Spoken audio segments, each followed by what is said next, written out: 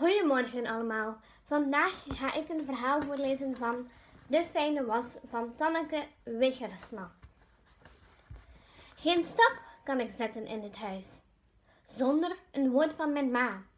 Over handdoeken, op stapel en op kleur.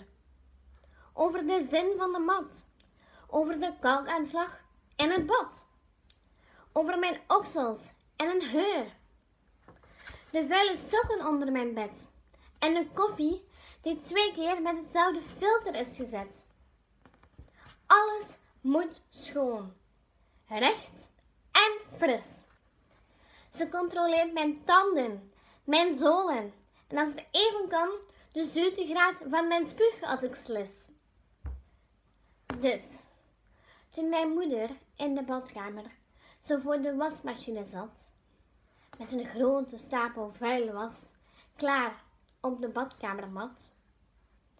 Toen duwde ik haar erin. Deurtje dicht, flink heet wassen en veel wasverzachter. Heel veel wasverzachter moest erbij. Mijn moeder had me moeten zien. Zo keurig dat ik alles deed. Maar ze was een beetje in de war toen ze schoon en recht uit de droger gleed. Zo, dat was mijn verhaal en dank jullie wel om te luisteren en misschien tot een volgende keer.